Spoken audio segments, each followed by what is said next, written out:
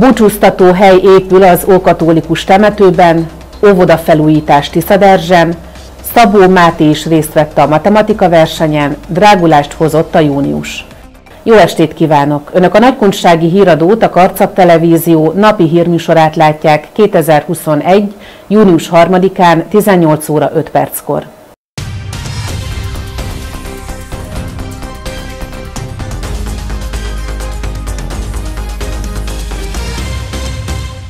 Gulyás Zsolt plébános érseki tanácsossal az Ókatolikus temetőben beszélgettünk az ott folyó építkezésről. A búcsúztató hely építése belátható időn belül be is fejeződik. Most már hál' Istennek látszódik, hogy a búcsúztató helynek a, az építésében vagyunk benne. Bízunk benne, hogy belátható időn belül be is fejeződik, és hogy nem csak így, hogy fölemeledett egy épület, hanem a maga szépségébe is látni fogjuk majd.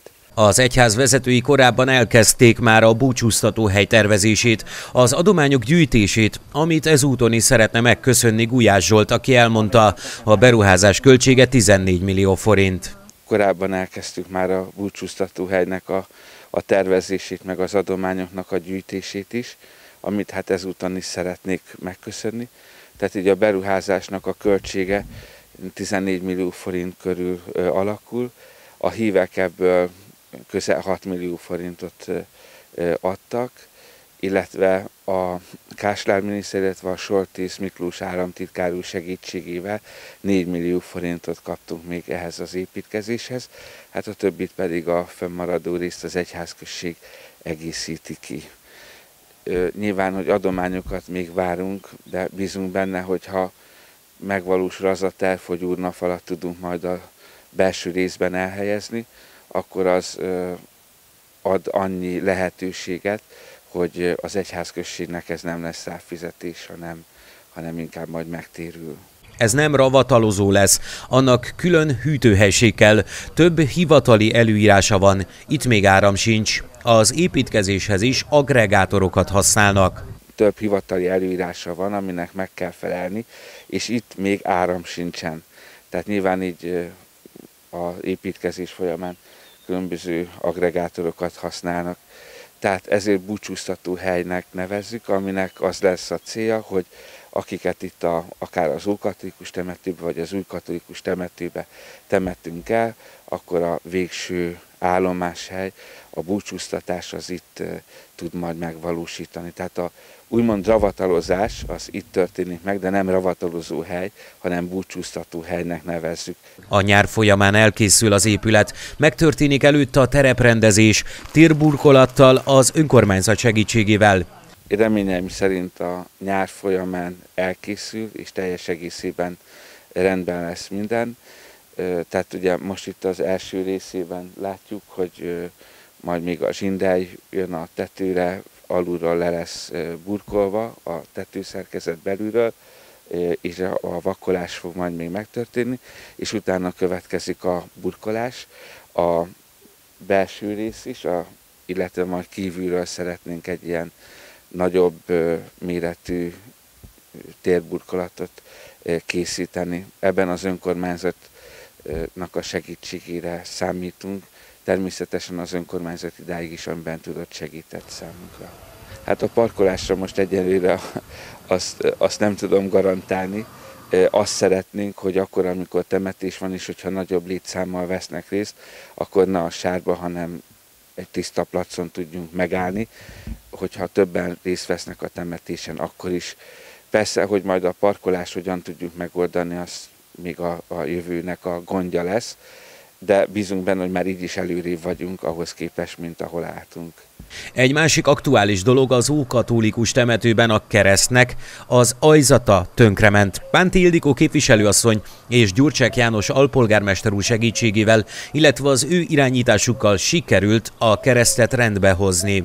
Most itt a ókatolikus temetőben a keresztnek az ajzata ment teljes egészében tönkre, és hál' Istennek Pánti Ildikó képviselőasszony és Gyurcsák János alpolgármester úr segítségével, illetve az ő irányításukkal sikerül ezt a keresztet rendbe hozni. Sajnos a, a keresztnek az alja, a lábazata úgy tönkrement, és most ezt újra kellett építeni. De az ő segítségükkel szinte teljes egészében ezt nekik köszönhetjük, úgyhogy hálásan köszönöm a, a közösségünk nevében is, hogy ez így újra, újra helyreállt. Aztán majd meglátjuk, mert ugye azt, ahogyan a Karcagváros lakói tudják, hogy a temető üzemeltetése a Szopkó Requiemnek a kezében van, tehát nyilván a lehetőségeikhez képest igyekeznek rendbe tenni, kaszálni a, a temetőt, ami szintén nem kis munka, meg hát nyilván a szemeteket is elszárítani. Most ugyan úgy rendben van, hát bízunk benne, hogy ö, sikerül úgy a, ezt föntartani, ezt a rendet, de nyilván ez a ő segítségükkel tud megvalósulni. Most egyenlőre ez a legfontosabb, hogy a búcsúztató helyet helyreállítsuk, aztán a jövőben, hogy majd még mit tudunk tenni, azt majd meglátjuk. Fotosné Ceglédi Zsuzsanna, Tiszaders község polgármestere az óvodában zajló fejlesztésekről, eszközbeszerzésekről beszélt televíziónknak. Tiszaderzsen az óvoda épületét újítja fel a település. Az óvoda felújítás pályázata van most folyamatban, épp a kivitelezők műszaki ellenőr kiválasztása történik a napokban. A belügyminisztérium által kiírt pályázatnak köszönhetően fel fog újulni az óvoda teljes külső és belső része. Külső szigetelést kap, járdát körbe ki fogják cserélni, belülről nyilázárók festése, burkolatfestés, fűtéskorszerűsítés, hiszen nem egy nagyon régi elavult fűtésrendszer volt az oviba.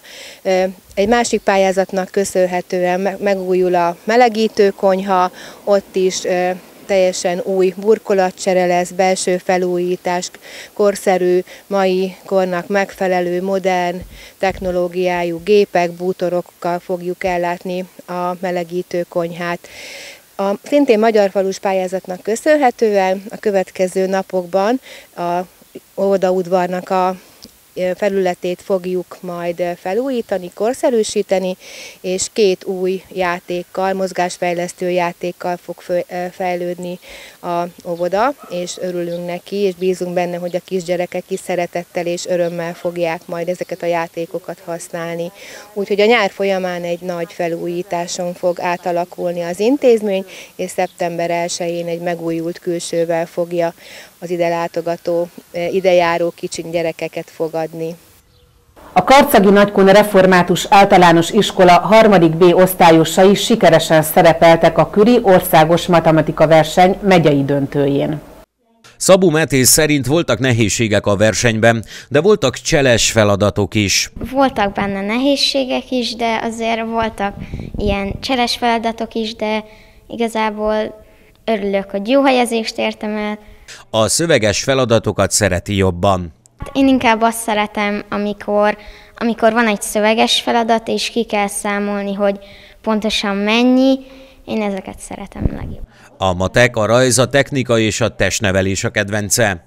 A verseny végén már érezte, hogy élete legelső ilyen matek versenyén jó helyezést ért el, bár volt egy nehezebb feladat, amit kihagyott. Én igazából éreztem, hogy az volt életem legelső ilyen matek versenye, és, és úgy gondoltam, hogy hát pár feladatot azt kihagytam, de, de úgy éreztem, hogy ez, ebből jó helyezés lesz.